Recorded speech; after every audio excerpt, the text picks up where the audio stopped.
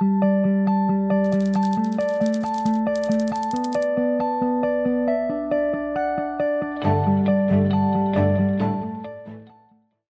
amici di Wall Street Italia, siamo con Danilo Verdecan, Country Head Italia di State Street Global Advisor.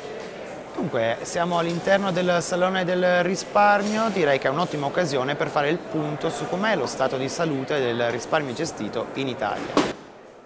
Prima di tutto buongiorno e grazie dell'opportunità. Eh, direi che l'industria del risparmio gestito in Italia gode di ottima salute. Negli ultimi cinque anni c'è stata una crescita importante eh, della nostra industria, siamo arrivati a, ad avere in gestione circa 2 mila miliardi di euro, quindi un asset importante eh, non solo per l'industria del risparmio gestito ma anche eh, per l'economia italiana. La crescita che c'è stata negli ultimi cinque anni è stata sicuramente una crescita determinata da fattori eh, che possono essere considerati anche eccezionali. Eh, sicuramente il fatto che i mercati azionari negli ultimi cinque anni abbiano performato positivamente ha innescato molta fiducia all'interno degli investitori e hanno fatto in qualche modo da, da volano a, eh, nuove sottoscrizioni, a nuovi flussi di risorse finanziarie che sono entrate all'interno del, dell'industria. Altro fattore determinante è stato il quantitative easing, è normale che quando c'è molta quantità di moneta nell'economia parte di questa moneta finisca anche all'interno dell'industria e poi direi fattore fondamentale sono stati e sono tuttora ancora i bassi tassi di interesse, quindi i tassi bassi di interesse hanno fatto sì che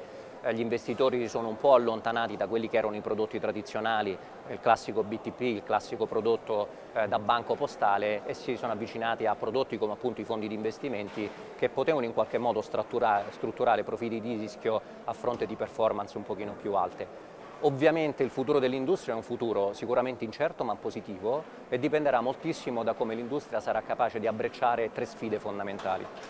La prima sfida è sicuramente quella della trasparenza, eh, cioè cercare di migliorare non solo l'education eh, da parte dei risparmiatori italiani, ma fornire più trasparenza, maggiore chiarezza di quelli che sono i prodotti venduti. A tal riguardo la MIFID 2 sicuramente fornirà un rapporto molto più virtuoso di quella che era la relazione tra produttore, distributore e cliente finale. Eh, la seconda sfida ovviamente è quella di legare il risparmio gestito all'economia italiana, questa è una sfida già parzialmente vinta con i prodotti individuali di risparmio dove si sono riusciti a mettere insieme appunto eh, il risparmio delle famiglie, le capacità di investimento eh, da parte del settore del risparmio gestito e delle agevolazioni fiscali, quindi questa è una sfida che bisognerà continuare ma già parzialmente vinta. E la terza è la cosiddetta FinTech Revolution, cioè come effettivamente l'industria riuscirà ad abbracciare la tecnologia eh, la tecnologia da una parte rappresenta sicuramente un valore aggiunto per l'industria perché potrà portare maggiore eh, scalabilità, maggiori margini, dall'altra parte però rappresenta anche, come si dice in inglese, la cosiddetta disruption, un ostacolo.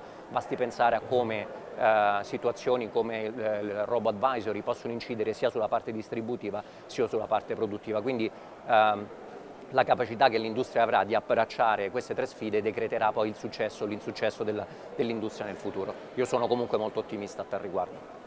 Grazie dunque a Danilo Verdecanna, Country Head Italia per Stay Street Global Advisors.